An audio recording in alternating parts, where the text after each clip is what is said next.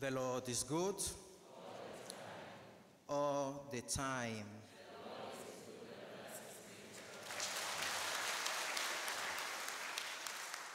My dear brothers and sisters, humility is a virtue. Humility is the foundation of all the success under the sun.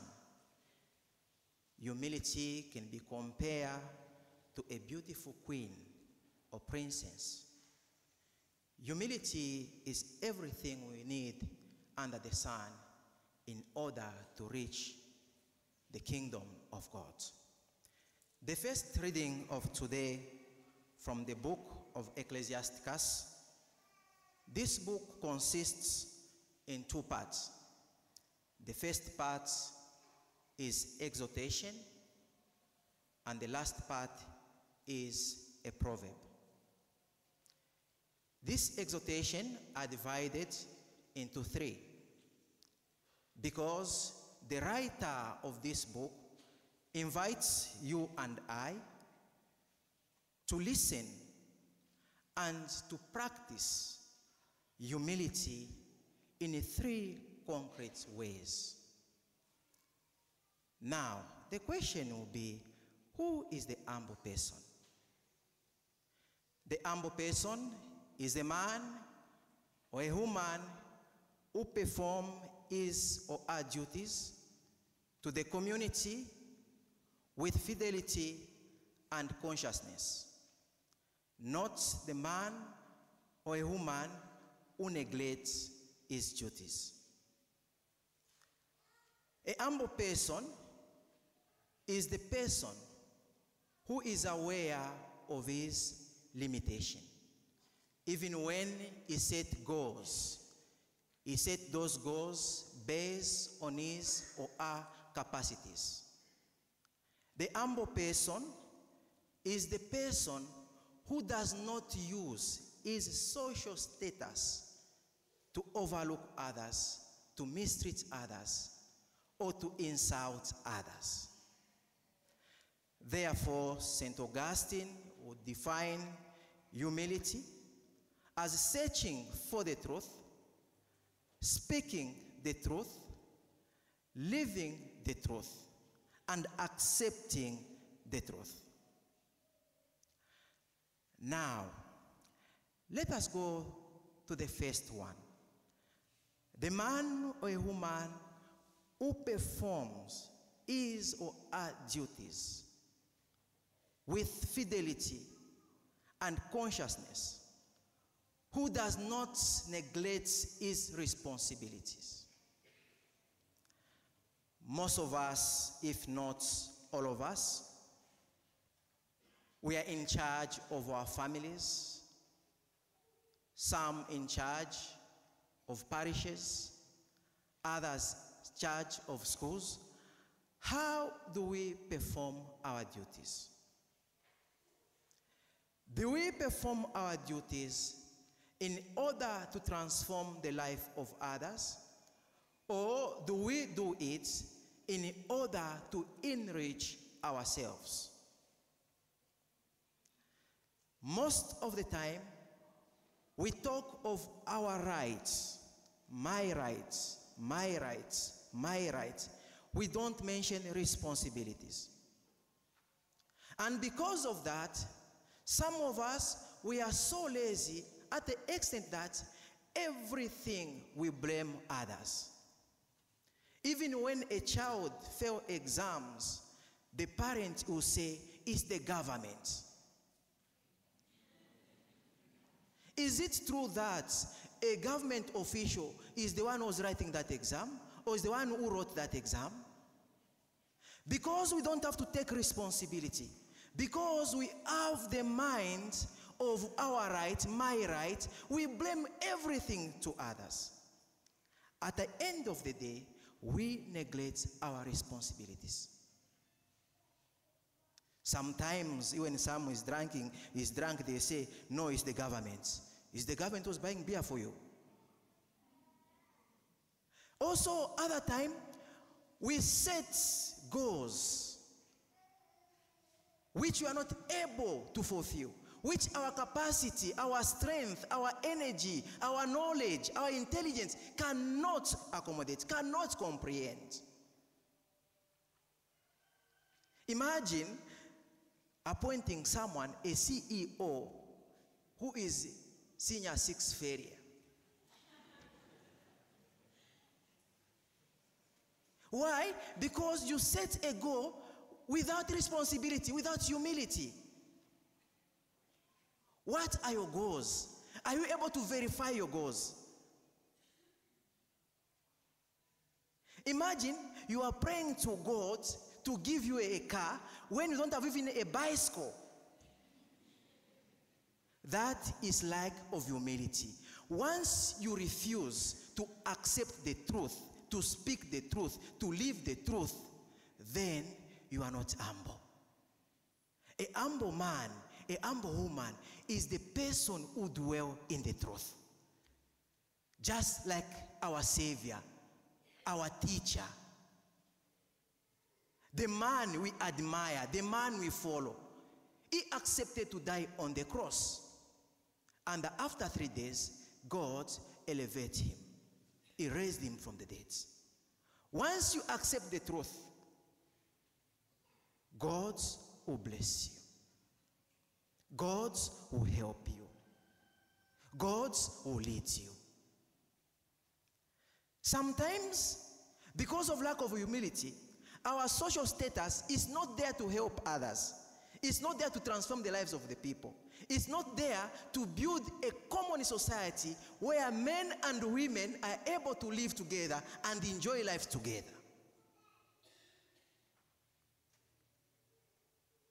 Some of us, we use our social status to enrich ourselves.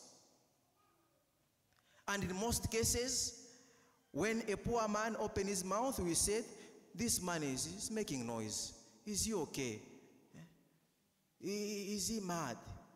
Why are you talking? Who, who gave you the permission to talk? When the rich man stands to talk even for three hours, people will clap. Even when I speak nonsense, they will clap. Why? They don't clap because of what the man is doing. They clap because of his pockets.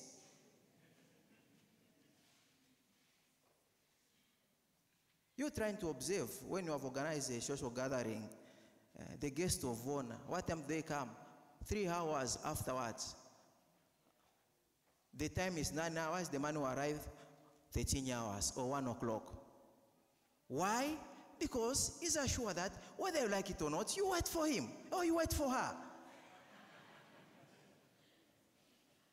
So, my dear brother and sister, this is the reason why the second part of the first reading of today is a proverb. What is a proverb? A proverb is a short, skillful statement which contain full of images to instruct, to educate the listeners. Today, in the first reading, there's a comparison of water and alms giving fire and sin. Why water? Why alms giving? Water and alms giving, they have the same effect. They try to control the force of evil.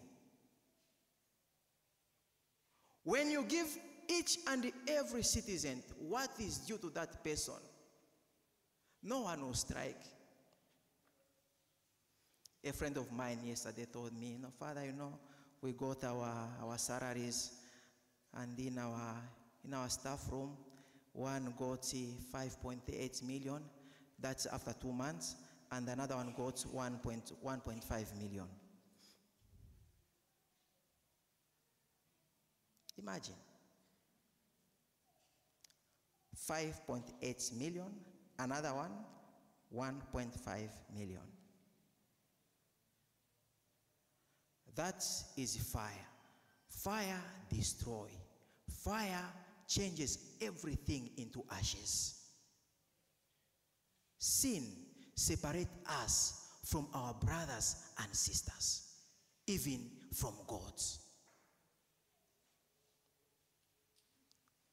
This is the reason why the gospel of today, Jesus was a guest, was there sitting, watching them. Then he was telling his disciples, Hey, Banange, look at these people. They are just going for eye seats. Why? Even the guest is a class of guests.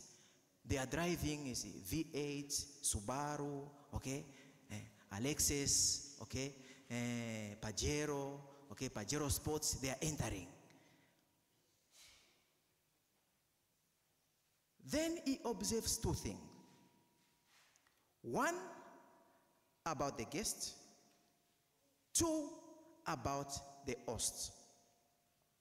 We have to understand that in a Jewish society of that time, people were sitting according to your social status. Muntu wa wansi there, eh? down there. Eh? Then uh, the rest, according to your social status, like in the army, okay? A general, a sergeant, a corporal down there. That's how they are sitting.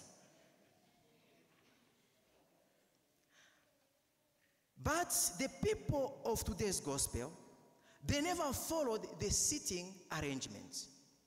People were jumping. Why? Because they wanted to show off. They wanted to use their power. They were power angry. They were arrogant. They were proud. Then Jesus told his disciples, Look, when you behave like that, you know you are a corporal. You are sitting on the chair of a general. Once the general enter in, you go back to your seat. Better you sit on your seat. Maybe the hosts who appreciate you and call you up to the high table. My dear brothers and sisters, humility is a virtue. What matters is not what you think about yourself.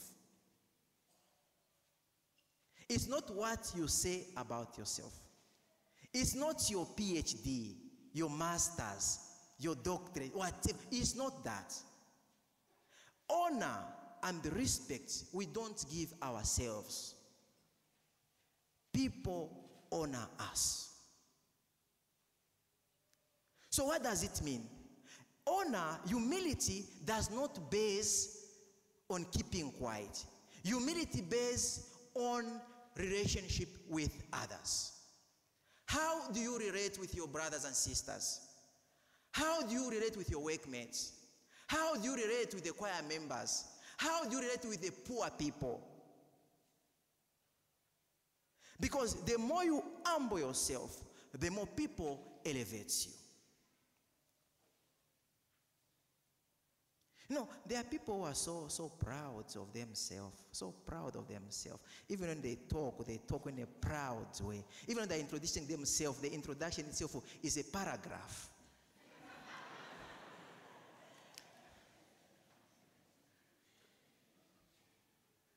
Now you, you see, uh, before I mentioned my name, you see, uh, when I was a kid, I went to Namilyango SS. Then uh, from there, from there, I, I went to, to UK. And then after that, I did my, my master's in, in Amsterdam. Then from there, I went to Russia. Then after that, hey, by the way, my name is Mr. Ben Chola.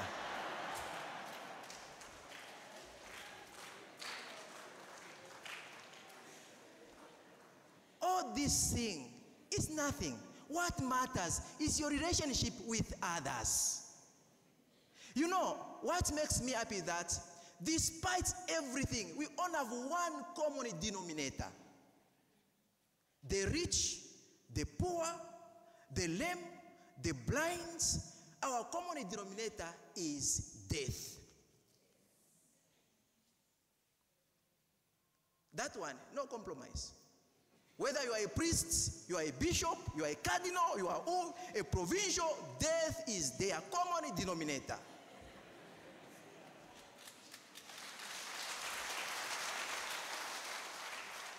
So the more you humble yourself today, the more you reconcile with others, the more you relate in a humility way with others, God will bless you.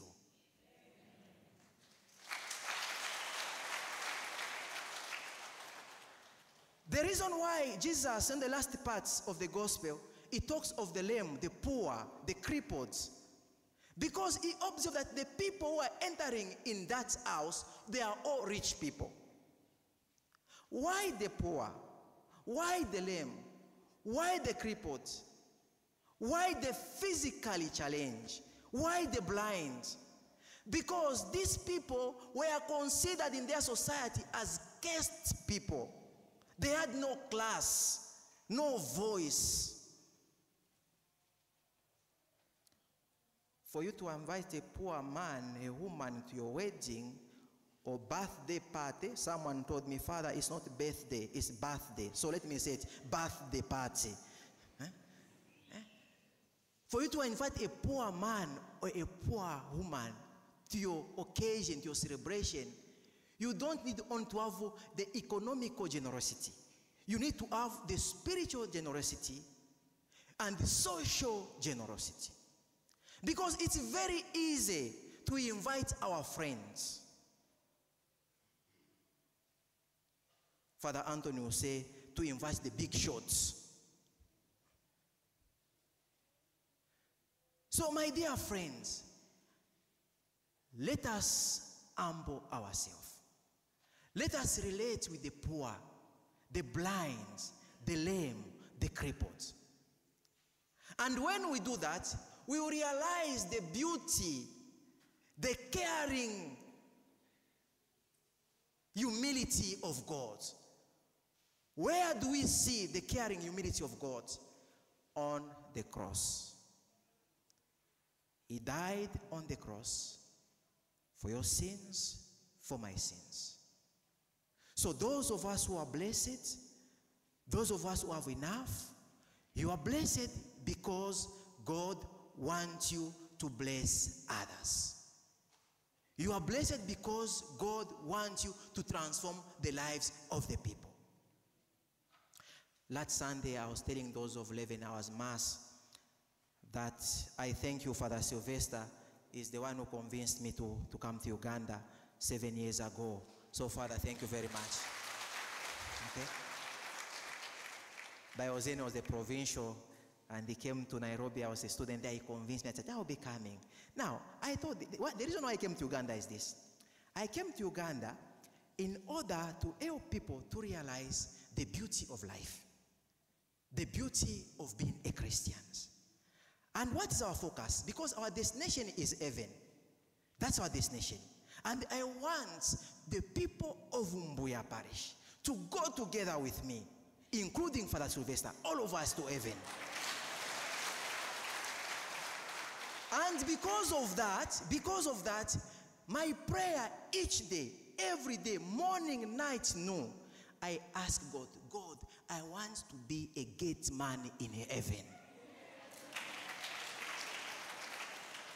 You know why I want to be a gate man in heaven? Because I want to see how many people from Mbuya will pass at that gate. the Lord be with you.